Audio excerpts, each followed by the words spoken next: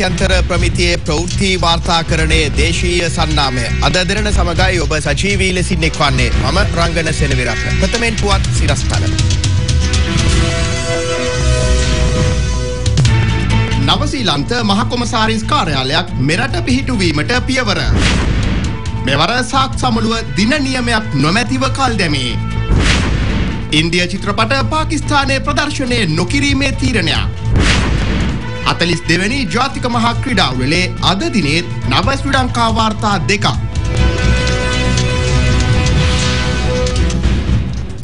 නවසිලන්ත මහකොමසාරේස් කාර්යාලයක් ලබන වසරේදී මෙරට විවෘත කිරීමට බලාපොරොත්තු වන බව නවසිලන්ත අග්‍රාමාත්‍ය ජෝන් කේ මහතා පවසනවා. අද පෙරවරුවේ අග්‍රාමාත්‍ය රනිල් වික්‍රමසිංහ මහතා සහ නවසිලන්ත අග්‍රාමාත්‍යවරයා අතර පැවති හමුවේදී මේ බව පවසා ඇතයි නවසිලන්ත මාධ්‍ය වාර්තා කරනවා.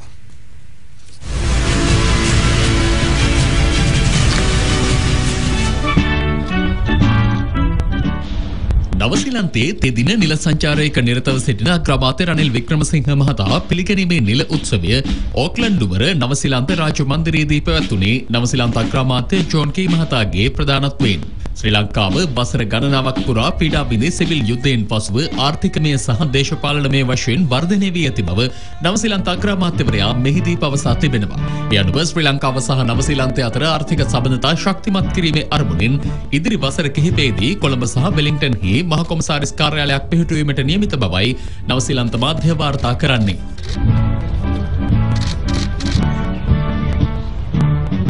මේ අතර අග්‍රාමාත්‍ය රනිල් වික්‍රමසිංහ මහතා ඇතුළු මෙරට දූත පිරිස ඕක්ලන්ඩ් සත්වෝද්‍යානයේ චාරිකාවක නිරත වුණා. මෙහිදී ශ්‍රී ලංකාවෙන් නවසිලන්ත රජයට ත්‍යාගයක් ලෙස ලබා දුන් අංජලි නම් අලි පැටවා නැරඹීමටද අග්‍රාමාත්‍යවරයා එක් වූ අතර නවසිලන්තේ හිටපු නියෝජ්‍ය අග්‍රාමාත්‍යවරයෙකු වන ජෝන් මැකිනන් මහතාගේ ප්‍රධානත්වයෙන් මෙම නිරීක්ෂණ චාරිකාව සංවිධානය කෙරුණා.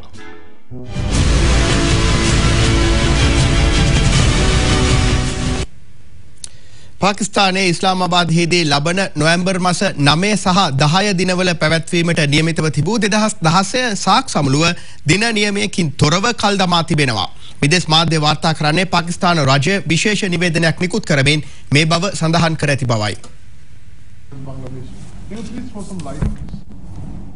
දහනව වෙන සාක් සමුළුව මෙවර පාකිස්තානයේ ඉස්ලාමාබාද්හිදී ලබන නොවැම්බර් මාසයේ පැවැත්වීමට සැලසුම් කරනු ලැබුවා. මෙහිදී සමුළුවට සහභාගී වීමට නියමිතව තිබූ රටවල් හතරක් ඊට සහභාගී වීමට අකමැත්ත පළ කිරීමත් සමග පාකිස්තාන රජය මෙම තීරණය ගෙන තිබෙනවා.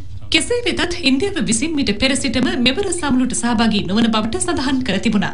ඊට හේතුව වූයේ ඉන්දියානු පරිපාලනය සහිත කාශ්මීරයේ යුද කඳවුරකට පසුගියදා එල්ල කෙරුණු සන්නද්ධ ප්‍රහාරයේ ප්‍රතිඵලයක් වශයෙන්. ඉන්පසුව පාකිස්තානයේ රාජ්‍යතාන්ත්‍රික වශයෙන් හුදකලා කරනු ලැබීමට දිල්ලි බලධාරීන් මෙම සමුළුව වර්ජනය කිරීම පෙන්නුම් කළ හැකි බව විශ්ලේෂකයෝ පෙන්වා දෙනවා. කෙසේ වෙතත් සිය කාශ්මීර යුද කඳවුරට එල්ල කෙරුණු ප්‍රහාරය සම්බන්ධයෙන් ඉන්දියාව පාකිස්තානයට ඇඟිල්ල දිගු කරන නමුත් ඉස්ලාමාබාද් බලධාරීන් විසින් එම චෝදනා බැහැර කර තිබෙනවා. නමුත් පසුගියදා මහා මණ්ඩලයේ සැසිවාරයේදී ඉන්දියාව විසින් පාකිස්තානය හඳුන්වනු ලැබුවේ ත්‍රස්තවාදී රටක් ලෙසටයි. මේ අතර බංග්ලාදේශය භූතානය සහ ඇෆ්ගනිස්තානයේද සමුළුවට සහභාගී වීම අවිනිශ්චිත බව පවසා තිබෙනවා. වත්මන් සභාපතිත්වයේ උසුරන නේපාලයටද එබව දන්වා සිටින බවයි ඉන්දිය අභ්‍යන්තර කටයුතු අමාත්‍යාංශය පවසන්නේ. The right conditions for anything like business as usual with Pakistan. නව ආණුක්‍රම ව්‍යවස්ථාව පිළිබඳ අවසන් තීරණය ලබා ගන්නේ පාර්ලිමේන්තුව තුළදී බව මහමාර්ග හා උසස් අධ්‍යාපන අමාත්‍ය ලක්ෂ්මන් කිරියල්ල මහතා පවසනවා. අමාත්‍යවරයා මේ බව ප්‍රකාශ කළේ අනුරාධපුරයේ පැවති ජනහමුවකට එක්වෙමින්.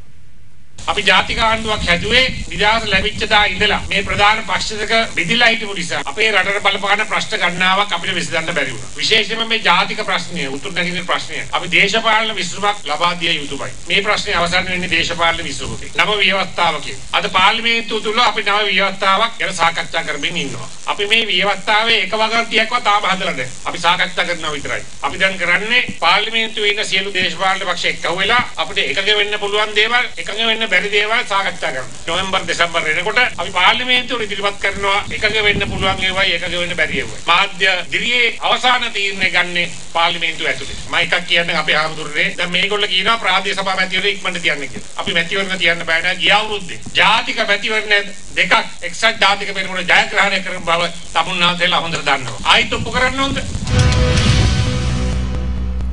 උතුරු පළාත් මහ ඇමතිවරයාගේ ක්‍රියාකලාපය රටට අපක ඉර්තියක් ගෙඩ දෙනු ඇති බව උතුරු මැද පළාත් ප්‍රධාන අමාත්‍ය පේශල ජයරත්න මහතා පවසනවා. අනුරාධපුර ප්‍රදේශයේ පැවති උත්සවයකට එක් වෙමින් ඒ මහතා මේ බව සඳහන් කළා.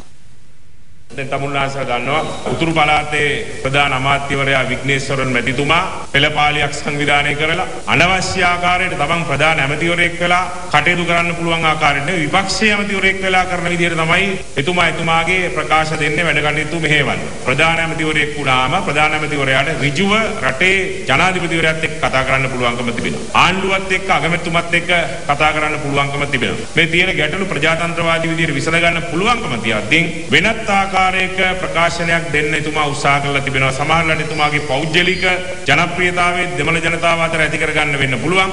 හැබැයි මේ තුල අපේ රටට විශාල අපකීර්තියක් ඇති වෙනවා. ළඟම පාසැල හොඳම පාසැල බවට පත්කිරීමේ වැඩසටහන ක්‍රියාත්මක කිරීමත් සමග ජනප්‍රිය පාසැල් සඳහා පවතින තරඟකාරීත්වය අඩු වී යනු ඇතැයි අධ්‍යාපන අමාත්‍ය අකිල විරාජ්කාරයෝස මහතා පවසනවා. ඉබ්බාගමුව මධ්‍ය මහාවිද්‍යාලයේ පැවති උත්සවයකදී අමාත්‍යවරයා මේ බව සඳහන් කළා. ඒ පාසල් වල සියලු සම්පත් ටික අපි මේ ළඟම පාසල් වලටත් ලබා දීලා අපේ ශිෂ්‍ය ශිෂ්‍යාවෝ ළඟම පාසල් වලින් ජනප්‍රිය පාසලේ තියෙන සියලු වරප්‍රසාද සියලු දේවල් ලබා දීමේ වෙනස කරන්නයි අපි ළඟම පාසල හොඳම පාසල සංකල්පය ගෙනාවා. මේක අපි හරියට ක්‍රියාත්මක කරොත් ඉදිරියේදී මං හිතන්නේ අපි ඔය ජනප්‍රියයි කියාගෙන ගන්න පාසල් වලට අපේ ගමේ ඉන්න දක්ෂයෝම අරගෙන ඉවරලා ගිහලා ප්‍රතිඵල පෙන්නලා ඒ පාසල් වැවෙලෙන්නේ නැහැ. ඒක නෙමෙයි වෙන්නේ හැම ගමේ තියෙන හැම ප්‍රාදේශීය ලේකම් කොටසකම අඩුම ගානේ පාසල් දෙකක් ජනප්‍රිය භෞතික සම්පත් මානව සම්පත් ගුරුවරු විදුහල්පති සියලු සම්පත් වලින් හදන්න කියලා මම ඒ ව්‍යාපෘතිය නිර්මාණය කරේ අපි විසින්මයි. උමාවය සංවර්ධන ව්‍යාපෘතියෙන් ජනතාවට කිසිදු සංවර්ධන ප්‍රතිඵලයක් අත් නොවූ බව ජනතා විමුක්ති පෙරමුණේ පළාත් සභා මන්ත්‍රී සමන්ත විද්‍යාරත්න මහතා පවසනවා. පල්ලි පෙරුව ප්‍රදේශයේ පැවති ජනහමුවකදී එම මහතා මේ අදහස් පළ කළා. උමාඔය බහුකාර්ය ව්‍යාපෘතින් විපතටපත් බණ්ඩාරවෙල උඩපේරුව සහ පල්ලේ පේරුව ගම්මානවල ගොවිතැන්වලට සිදුව ඇති හානිය නිරීක්ෂණය කිරීම සඳහා ජනතා විමුක්ති පෙරමුණේ පළාත් සභා මන්ත්‍රී සමන්ත විද්‍යාරත්න මහතා එක් වුණා. මේ උමාවේ ව්‍යාපෘතියෙන් ඔබට ලැබුණු සංවර්ධනය මොකක්ද? හොඳ තත්ත්වයකට නගා සිටෙව්වද හිටපු තත්ත්වෙත් නැති වුණා. දැන් අමුතුවෙන් ආණ්ඩුවෙන් යමක් දුන්නේ නැහැ. තිබුණු ලිඳක් නැහැ. හදාගත්ත ගේට් පිපුරුවා වගා කරපු කුඹුරක් දෙබෑවු. ඔන්නෝකට කියන්නේ සංවර්ධන. මේවා අපි කිව්වා. දැන් පහුගිය පළාත් සභා මැතිවරණයෙන් පස්සේ මහ මැතිවරණය ආවනේ. පළාත් සභා මන්ත්‍රී වෙලා තමයි මේ වැඩේට ගොඩාක් වැඩ කරගෙන ගියා. ඒකට සමහරු මට කිව්වා මහ මැතිවරණය කොට ඔබතුමා උඩින්ම පාර්ලිමේන්තු යනවා. මම ඒ කියන්නේ කොහොමද? උමාවට සෑහෙන සටනක් දුන්නානේ. ওই මිනිස්සු ඔක්කොම ඡන්ද දෙයි කිව්වා. ඡන්දේ උන දුන්නා. ගැන ලබන්නකොට බණ්ඩාර වලින් වැඩිලා වැඩි වෙලා තියෙන ඡන්ද 200 ගන්න. දැන් ඒකට අමනාප වෙලා අපි මේ සටන අතෑරියද? අතෑරියේ නෑනේ. ඒකෙන් තේරුම් ගන්න අපි ඡන්ද බලාගෙන වැඩ කරන කණ්ඩායමක් නෙවෙයි. උතුරු පළාත් සභා උපසභාපති ඇන්ටනී ජගනාදන් මහතා රියානතුරකින් මියගොස් තිබෙනවා. අද පෙරවරුවේ මුලතිව් පුල්්‍යාවෙලි ප්‍රදේශයේදී ඔහු ගමන්ගත් යතුරු පැදිය මාර්ගයේ පෙරලීමෙන් අනතුර සිදුව ඇති බවයි වාර්තාවන්නේ. එහිදී උතුරු පළාත් සභාවේ උපසභාපතිවරයා ප්‍රතිකාර සඳහා මුලතිව් රෝහලට ඇතුළත් කිරීමට පියවර ගෙන තිබෙනවා. කෙසේ වෙතත් රෝහල් ගත කරන විටත් ඔහු මියගොස් සිටි බව මුලතිව් රෝහලේ ප්‍රකාශිකාවක සඳහන් කළා. සිද්ධිය සම්බන්ධයෙන් මුලතිව් පොලිසිය වැඩිදුර විමර්ශන සිදු කරනවා.